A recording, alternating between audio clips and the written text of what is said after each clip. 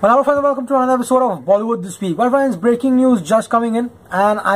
जो भी डिसीज़न लिया है वो जनता के हित में लिया है एंड गाइस ऐसे सिचुएशंस में यहाँ पर रिलीजियस सेंटिमेंट्स को यू नो मद्देनजर रखते हुए जो भी डिसीज़न आया है उसका हम सभी लोगों को स्वागत करना चाहिए। क्योंकि गाइस लक्ष्मी बॉम्ब जब से बनना शुरू हुई है वो कॉन्ट्रोवर्सीज एंड लाइमलाइट में रही है, चाहे उसकी रिलीज़ डेट को लेके हो, चाहे वो ईद के क्लैश को लेके हो, या फिर रिलीजियस सेंटिमेंट्स को हर्ट करने को लेके हो, यहाँ पर and even the boycott Lakshmi Lakshmi bomb जो ट्रेंड चला था, उसको लेकर हो, ये फ़िल्म हमेशा सुर्खियों में रही है for all the wrong reason possible यहाँ पर एक उम्मीद की किरण आई थी, वो थी इसकी फ़िल्म का ट्रेलर एंड इस फ़िल्म का गाना जो था बुर्ज खलीफा जिसको बहुत ही सराहा गया। लेकिन अब बहुत ही बड़ी अपडेट आई है। एंड गाइज़ आई थिंक इसके बाद जो कंट्रोवर्सी थी, इस फ़िल्म को लेके वो थम जाएगी।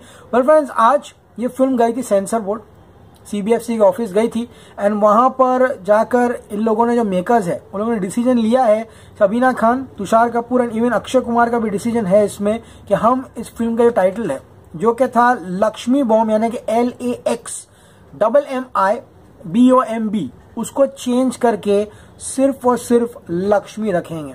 तो अब गाइज़ अक्षय कुमार की फ़िल्म जो है, लक्ष्मी बॉम्ब, उसका टाइटल होगा सिर्फ़ और सिर्फ़ लक्ष्मी, यानी कि L A X M double I अगर ये फ़िल्म थिएटर में रिलीज़ होती तो गाय इसे बहुत नुकसान होता, क्योंकि तो गाइज़ वो पोस्टर्स थे, जो बनकर तैयार हो गए थे, उनको वापस से रिप्लेस करना होता additional printing charges additional publicity material अच्छा खासा नुकसान होता, लेकिन अब ये फ़िल्म डिजिटल पर आ रही है। हाँ खर्चा करना पड़ेगा। सब जगह जितने भी इनके मटेरियल्स हैं, इनको रिमूव करना पड़ेगा डिजिटली लेकिन जो फ़िज़िकल बैनर्स रहते हैं, उनको यहाँ पर इन्होंने ज़्यादा बनाए नहीं है, इसलिए नुकसान जो है वो कम है। वेल फ्रेंड्स पहली बार नहीं हुआ है ये। इससे पहले भी पद्मावती को, पद्मावत किया गया था। एंड गाइज़ ये हम सभी लोगों को मालूम है, तभी भी करनी सेना ने बहुत बड़ा कॉन्ट्रोवर्सी की थी, क्योंकि that was you know hurting their sentiments and guys अब जो रिपोर्ट आई है वो ये है कि एडवोकेट राघवेंद्र मेहरोत्रा करनी सेना के एडवोकेट है। इन लोगों ने एक नोटिस दिया था कि Lakshmi bomb was considered derogatory and offensive to the goddess Lakshmi worship by the Hindu community तो उनको लग रहा था कि जो लक्ष्मी बॉम्ब ये शब्द यूज़ किया जा रहा है, ये काफ़ी डेरोगेटरी है ऑफेंसिव है। एंड नोटिस ने ये भी क्लेम किया था कि जानबूझकर जो मेकर्स हैं they are using the title Lakshmi bomb to lower the dignity and to show disrespect towards the goddess यानी कि जो गॉडेस है उनको यहाँ पे लोग सम्मान न देते हुए डिसरिस्पेक्ट कर रहे हैं। इसी का कारण है, ये जो नाम है, उसको चेंज कर दिया गया है।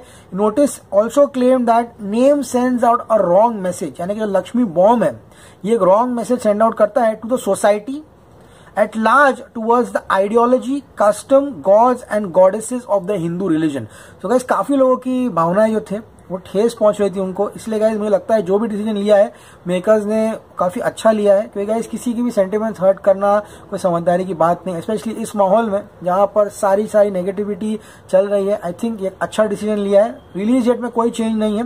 रिलीज़ डेट वही की वही रहेगी, लेकिन अब अक्षय कुमार की लक्ष्मी बॉम्ब नहीं होगी, अक्षय कुमार की लक्ष्मी होगी। वेल फ्रेंड्स फ़िल्म का नाम अब ऑफिशियली है L A X M double I well friend इंतज़ार कीजिए।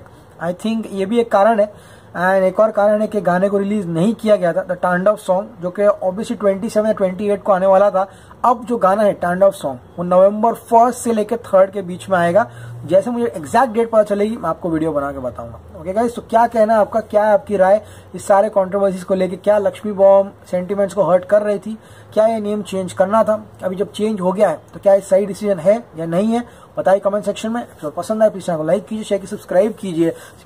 Signing off you very soon till then as always stay cool man